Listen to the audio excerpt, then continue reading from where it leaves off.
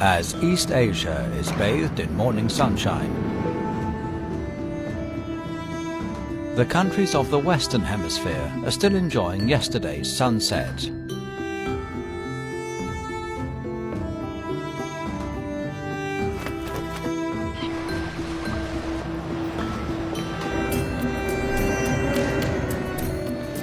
Asia accounts for nearly 30% of the world's land area and 60% of the world's population, distributed over 48 countries. These figures show the range and diversity of Asia. Asia is the most dynamic and promising area of the world today. It is home to the second and third ranked world economies, the nations with the fastest growing economies, and the four Asian tigers, which are miracles of economic development. Those achievements are reflected by the numerous bright lights in clusters distributed throughout Asia and all over the world. Even so, Asia is also home to nine of the world's least developed countries, and most of the others are still developing. More than 700 million people live on less than $1.25 a day, and these people account for 60% of the world's poor population.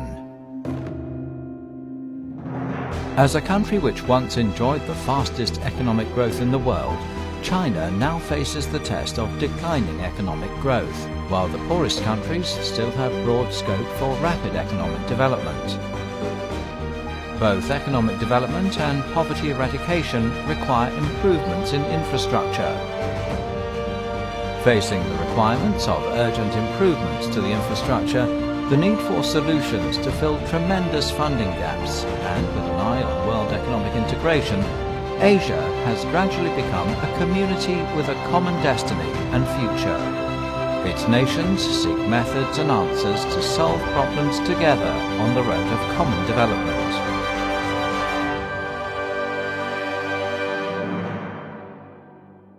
On January the 16th, 2016, after more than 800 days of preparation, an international multilateral mechanism working to improve infrastructures, interregional connectivity, and interconnection in Asia was officially opened in Beijing. 这是见证历史的时刻。今天，亚投行正式开业了。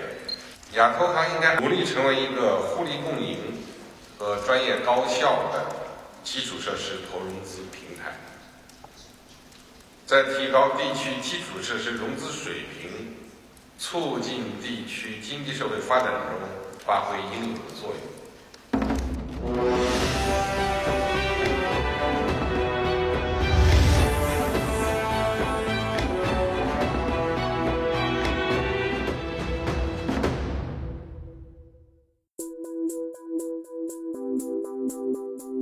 In 2015, Beijing was already a cosmopolitan city with ancient palaces reflecting its deep sense of history and good infrastructure reflecting its modernization. Beijing is the capital of China, and the development of Beijing is a microcosm of the rapid economic development in China over the last 30 years.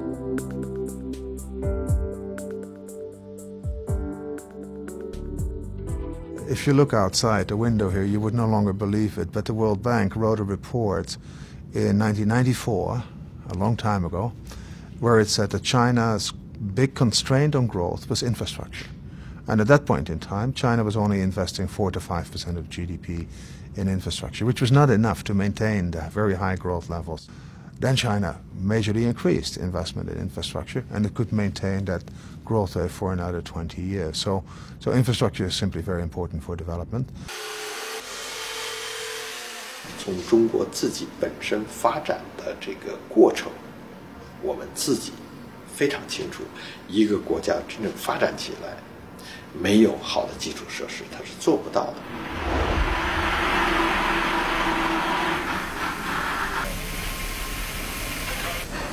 This is Tianmen Station, a transfer station on Line 8 of the Beijing subway, which is being tunnelled out.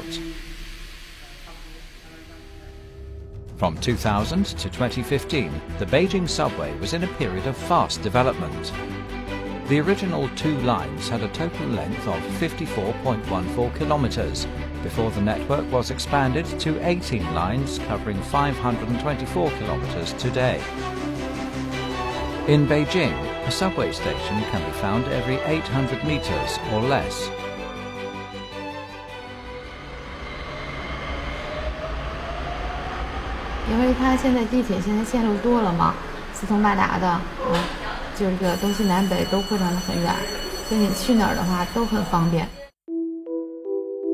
As one of those who uses the subway every day to cross the metropolis, Liu Ying begins her day. Liu Ying lives in Tongzhou district, an eastern suburb of Beijing. She is a sales representative at an insurance company. Visiting customers is her main job every day. Today she has to visit three clients in different parts of the city. If she chose to travel on the city's roads, it would be impossible for her to finish her task today. The subway is the most efficient choice for her.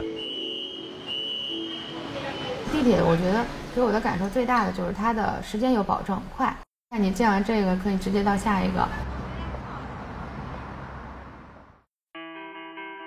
This is the route map of clients Liu Ying will visit today. The total duration of her journey is 2 hours and 20 minutes, which is very efficient in a megacity with an urban area covering more than 750 square kilometers and a population of more than 20 million.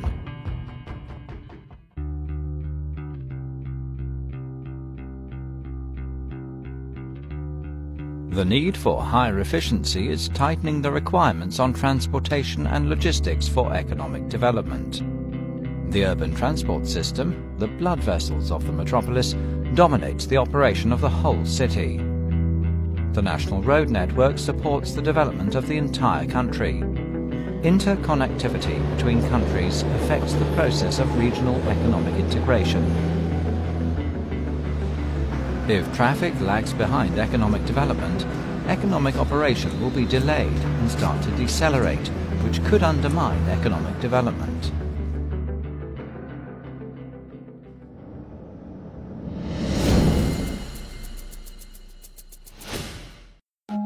Indonesia is the biggest economy in Southeast Asia. It is also the largest archipelagic country in the world.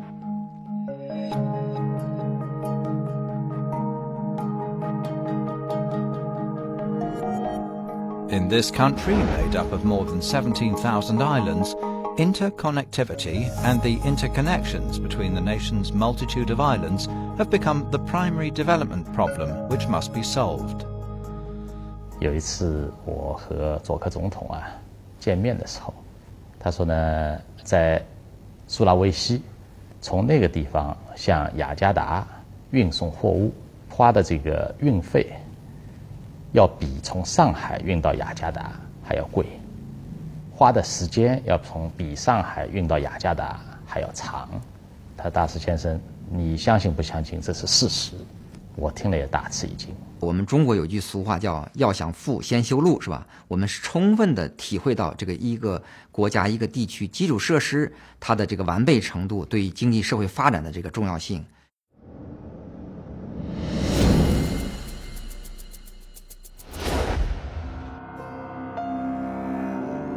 Dulongjiang Township, located at the junction of Myanmar and the Chinese regions of Yunnan and Tibet, is home to the only grouping of Drung people, with a population of less than 5,000. Every year from October to May of the following year, the mountain passes are blocked by heavy snow, so are cut off from the outside world. In 2014, the newly built 96-kilometre road reduced the road journey from Dulongjiang Township to the county from eight hours to less than three. This greatly changed the lives of the local Drung people. Pu Guangrong lives in Pukawang village, Dulongjiang Township. He and his family moved into affordable housing built by the government. Water pipes were built in the village, so the residents would no longer have to go to the local river to fetch water. It is almost two years since they moved into their new home. Young Drung people see that their lives are changing and are now very different to the lives their parents knew. 12-year-old Pu Chong Fan is Pu Guangrong's niece. She is studying at Dulongjiang Center School with her 15-year-old sister and 7-year-old brother.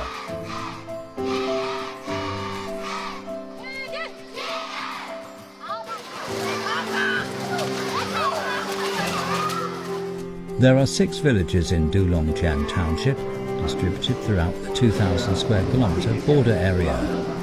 Pukawang village is more than 10 kilometres from the school.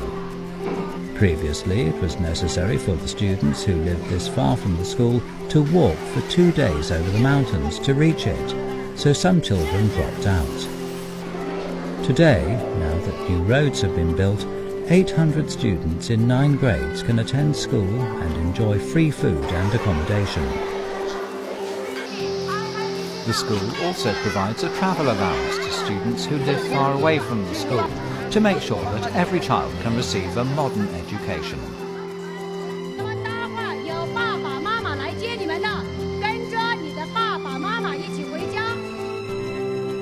New buildings have been built near Pukawang village. These include the health centre of Dulongjiang Township. All the villagers now have new rural cooperative medical insurance. Drung doctor Li Jiang and medical staff from various areas of Yunnan provide convenient medical services for the villagers here. A nursing home has been built next to the health centre in Dulongjiang Township. Nearly 50 old people will spend their remaining years in comfort in this quiet place.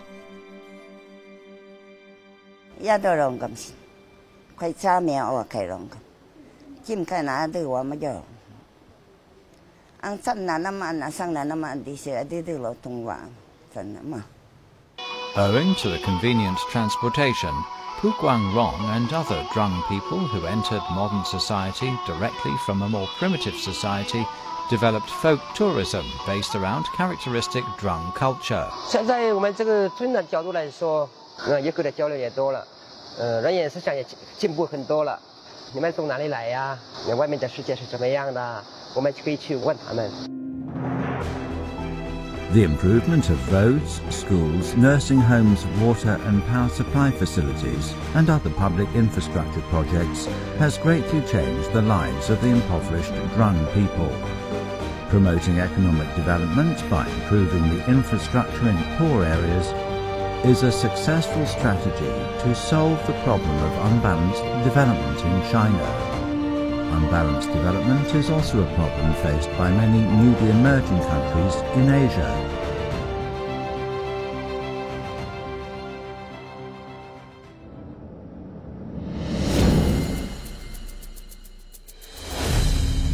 India is one of the fastest growing countries in the world. It is also a country which is experiencing unbalanced development. Even in Bombay, the unbalanced development in this western doorway of India can be seen everywhere.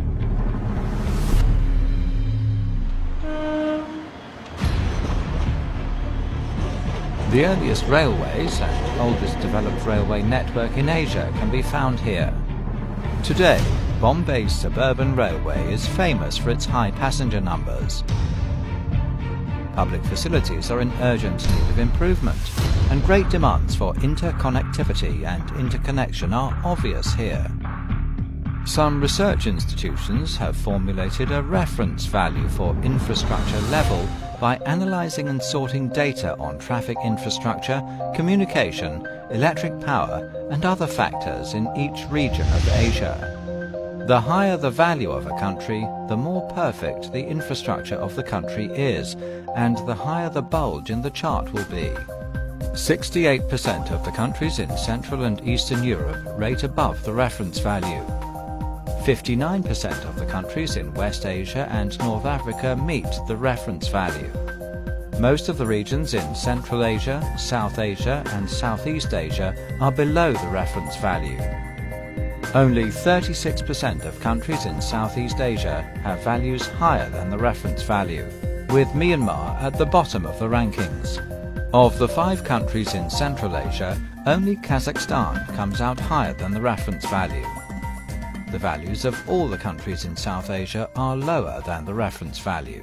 亚洲作为全球经济增长的重要引擎，这个引擎能否提高效率、发挥潜能， 很大程度上取决于我们能否做好基础设施建设和互联互通这根大，补上地区基础设施建设相对滞后的短板。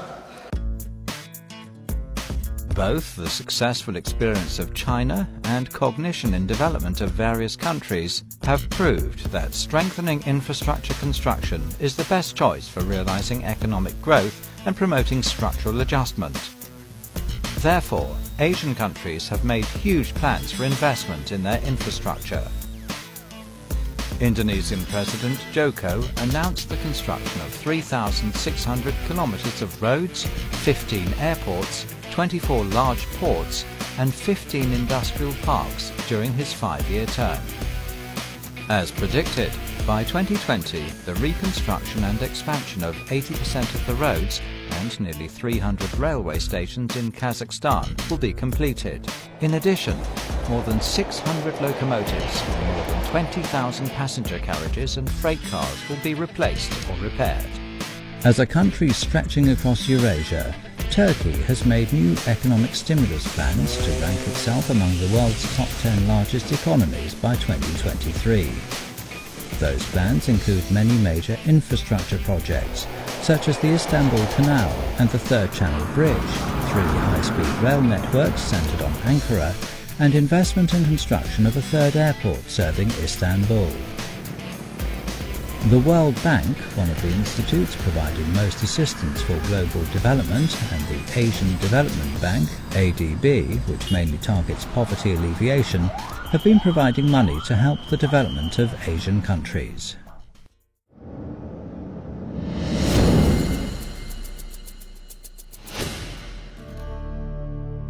Angkor Wat was one of the four wonders of ancient Oriental civilizations and is a world-famous symbol of Cambodia. This human cultural treasure from the 12th century has now become Cambodia's most important tourism resource. Wu Zhegang is probably one of the most important people to have visited Angkor Wat. In 2001, shortly after the end of the Cambodian Civil War, Wu Zhegang made his first visit to Angkor. In those days, this world-renowned cultural site was not open to traffic.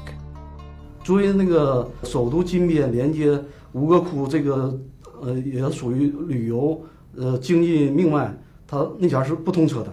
我是坐船到项目所在地吴哥的。 Zhang Jinsheng and Wu Zhegang are colleagues. They both work for CRBC. They came to Cambodia 14 years ago when CRBC won the bid to build roads at Angkor Wat in a project financed by the World Bank.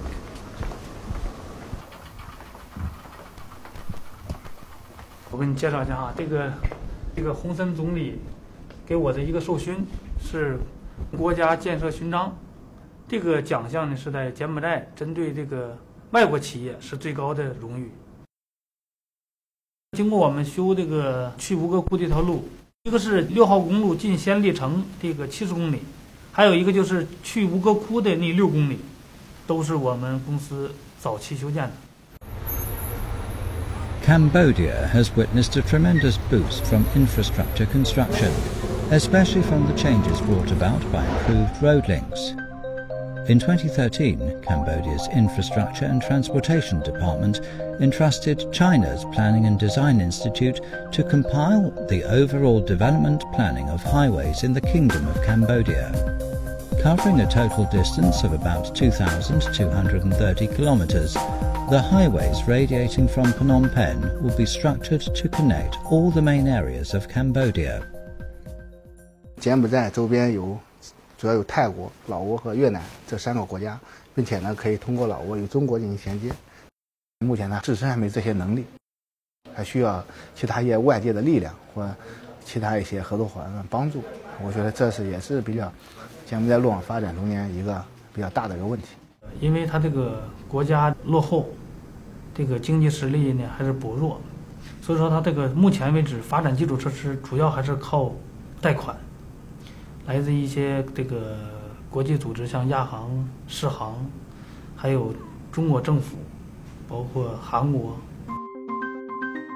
According to the ADB report published in 2009, the demand for total Asian infrastructure investment is estimated to be $8,280 billion, with greenfield investment and maintenance and transformation investment accounting for 68% and 32% respectively.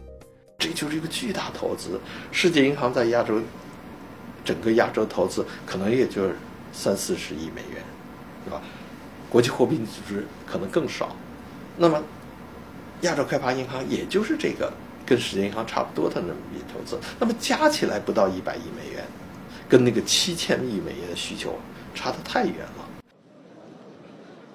Annual demand for infrastructure investment is projected to be approximately 730 billion US dollars, but only 3% of that demand is met. through bilateral and multilateral development funds. 私たちもちょっとあの少しその ADB の試算をあの アップデートしてみたんですけど今から10年ですねあの ADB の試算って2010年から20年ですけどあの今2015年から25年の10年間で試算してみると大体14兆ドルぐらいあのアジアで必要になってくるんですよ。The World Bank and ADB have achieved success in many Asian infrastructure projects and strongly support the development of Asia. However, due to limited registered capital and the unsatisfied capital increase needs of emerging economies, the World Bank and ADB are unable to provide more capital support for Asian infrastructure construction.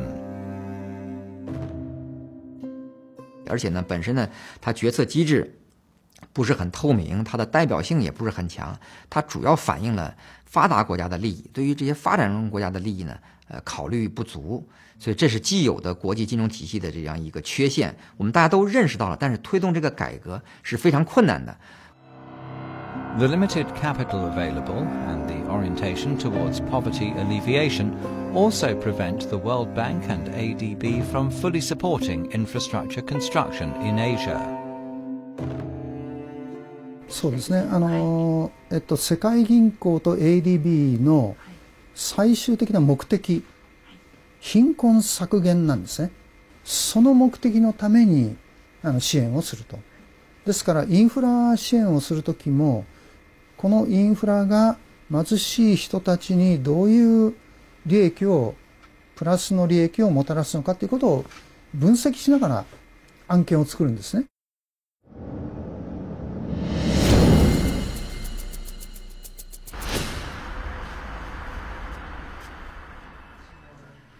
Zhang Xiaoyu has been a subway train driver for 36 years, since the subway went into operation.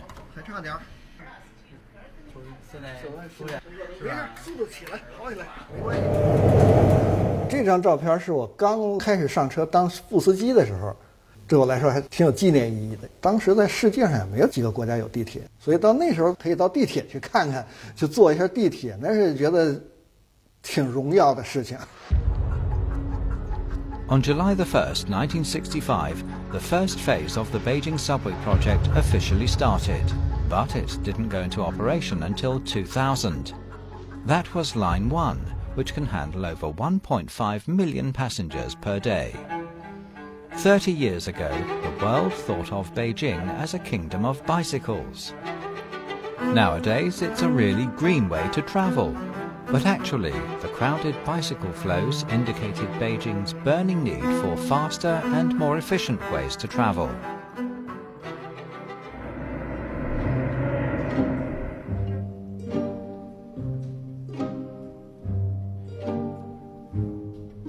Liu Lijong is responsible for the network dispatching room at Beijing's Rail Transit Command Center. The passenger flow volume handled on the 12 lines now in service is one of the indexes he pays most attention to. 你先注意一下角门溪，好的，海黄，好嘞，好嘞，海黄的客流，哎，做好发布 P 那个广播和网站发布消息的准备。哎，好的，等您等您。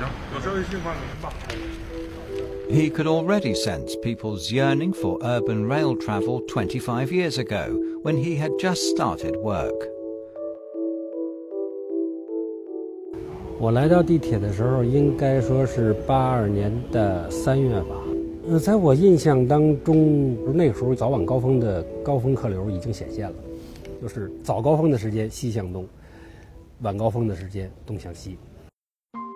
In the 30 years from the start of work on Line 1 in 1965 to the run through with Line 2 in 2000, only 34.5 kilometers of subway line was in operation in Beijing. 因为地铁整个一直是资金是一个最大的一个困难。 However, Beijing's population and urban area are entering a period of sharp growth, and big city malaise is starting to emerge. On the realistic premise of limited ground transportation development space, speeding up the development of the underground rail transit system has been put on the agenda. awarded to the city of Beijing. In 2001, when Beijing succeeded in its Olympic bid, Wang Hao was appointed as the Deputy General Manager of Beijing Subway Group Company. He was exclusively responsible for the financing and construction of the Beijing subway. 过去北京地铁实际上欠账了，但是那个时候呢，总的投资额各方面，在那个时间段看，虽然也是天文数字。 Beijing Subway Group first proposed an external financing scheme when faced with a huge financial gap. It was estimated that it would spend a total of 63.6 billion yuan building the five planned subway lines, but the government would only offer 35% of the funding. This meant that 65% of the capital, about 41.34 billion yuan, would have to be found elsewhere.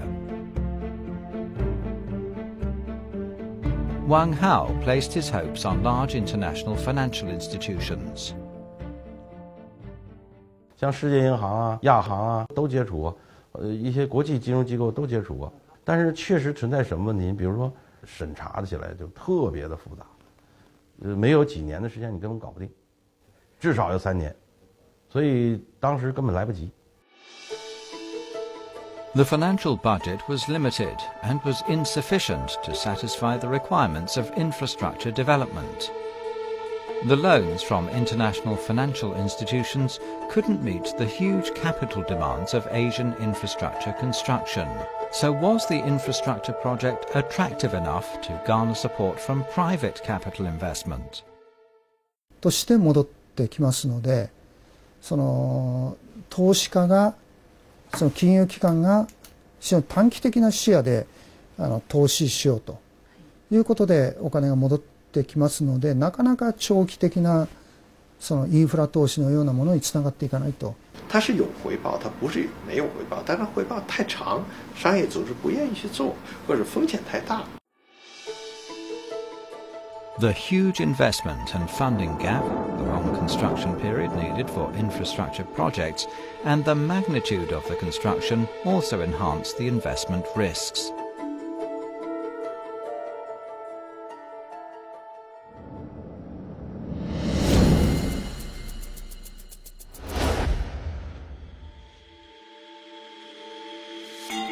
Istanbul is an international metropolis divided into two parts by the Bosphorus Strait. On one side is Asia, and on the other is Europe. This special geographical position has given the city the unique ability to connect Europe with Asia.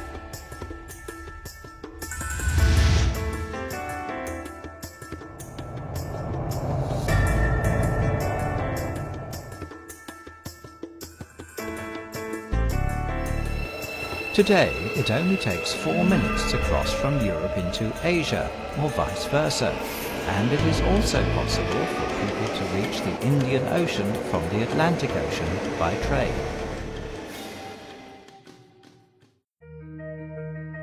Early in 1860, Abdul Majid, the emperor of the Ottoman Empire, put forward the idea of building an underwater tunnel to connect the two parts of Istanbul. However, the technological conditions were too immature at that time, so the idea never made it off the blueprint. As one of the biggest cities in the world, the transportation pressure of two million people crossing the Bosporus Strait meant the two bridges across the water were extremely crowded. To alleviate the congestion, work on the Marmara subsea tunnel began in 2004.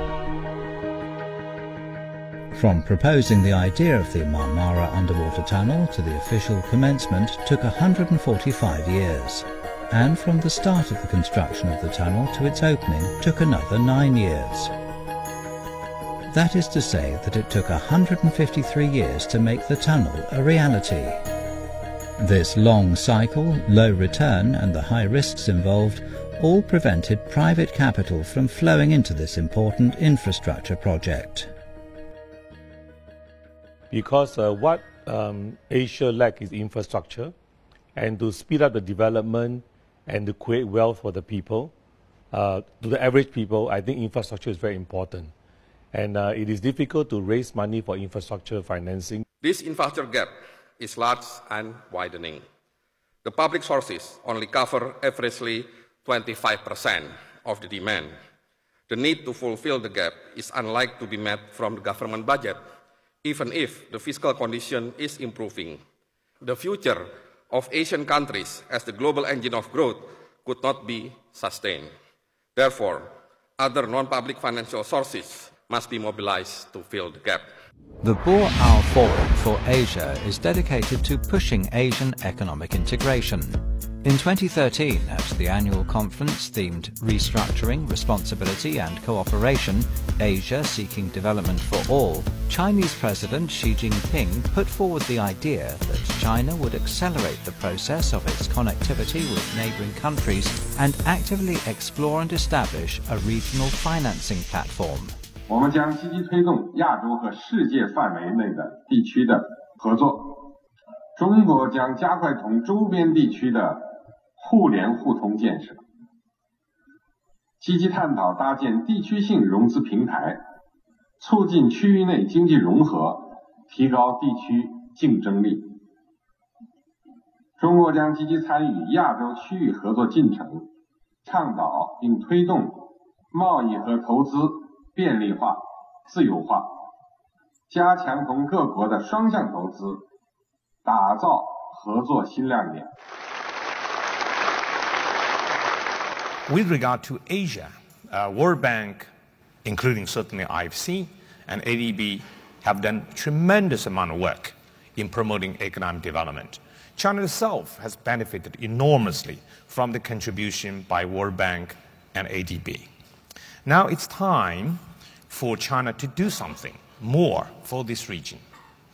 And uh, hopefully, Chinese contribution will spill over to other regions. The sub-forum, Global Recovery, Paths and the Role of Asia, held later on, proposed the idea of Asian infrastructure cooperation. 曾培炎呢，在这个会上他提了四点倡议，那么其中之一是多渠道融资来推动基础设施建设。就是亚洲的金融合作，你得有个抓手。亚洲金融合作的一个很重要的抓手呢，就是融资来推动基础设施建设。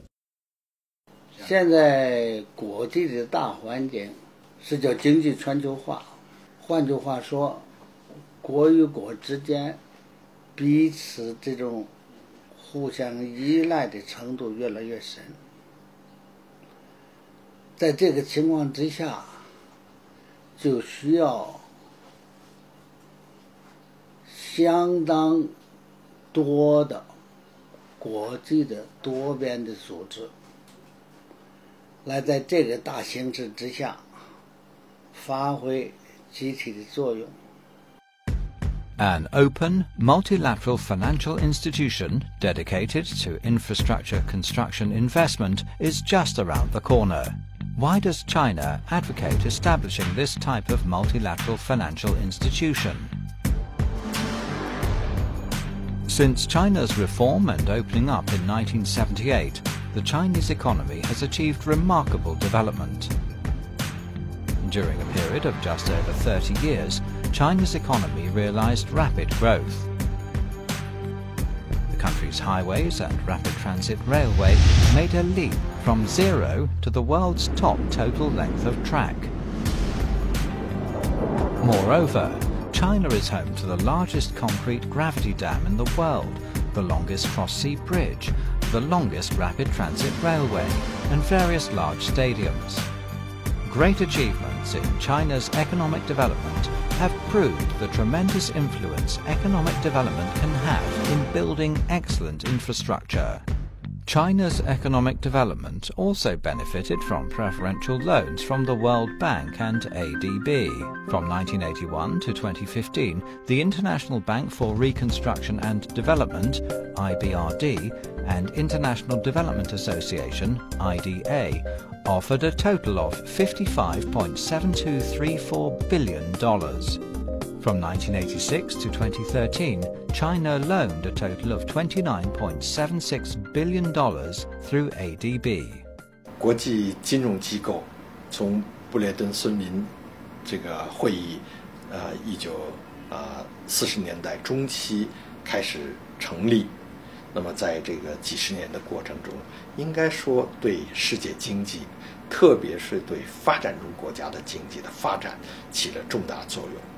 第一个作用是资金，是吧？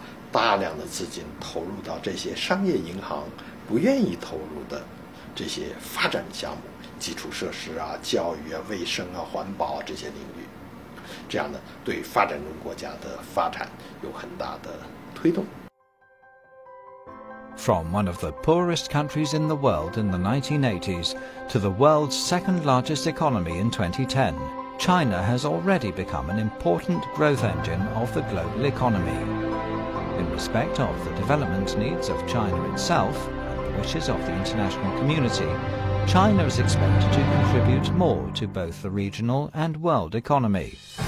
For many years, China has shared its experience and results with other Asian regions.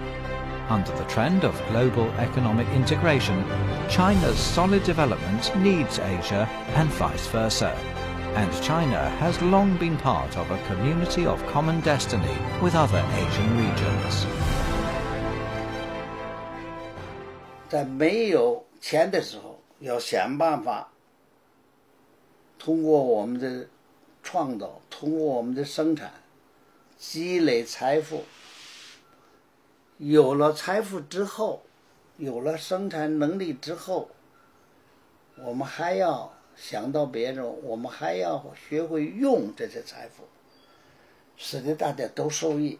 You know, in an age of globalization, this really we're in the same boat, right? We're in the same boat. We know this is what China calls so-called common destiny, right? So I would say for all countries, the de development, economic development is still the hard to choose, right? Without the economic, uh, sustainable economic development, all country, all economy will get trouble. 特别是在全球化的今天，没有一个国家可以独立的去发展，它必须和它周边呐、有联系的国家一块儿，大家互利共赢才能够发展。The power of the world's second largest economy, the strong infrastructure construction capability, and the willingness to share results and experiences with neighbouring countries, partners, and friends enables China to play a greater role in regional development. Conversely, the tremendous development potential in other Asian regions also provides room for China's sustainable development. All this sets out an excellent basis for mutual development and win-win cooperation in all regions. On the road to seeking mutual development, China has already formed a community of common destiny with other Asian regions.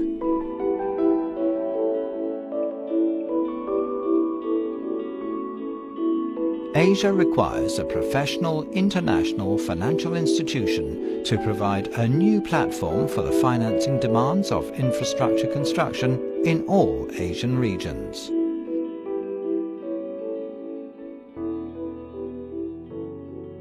国际金融组织起到一个单个的政府起不到的作用，很多很多的这些国际间的这些合作， 这是国际金融组织起的作用，商业企业做不了，单个政府企业做不了，非这些国际机构莫属。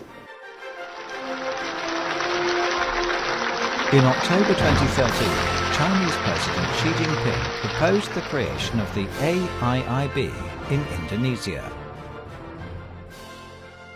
当前，亚洲国家，特别是新兴市场和发展中国家的基础设施建设融资需求巨大，有必要动员更多资金进行基础设施建设。为此，中国倡议筹建亚洲基础设施投资银行。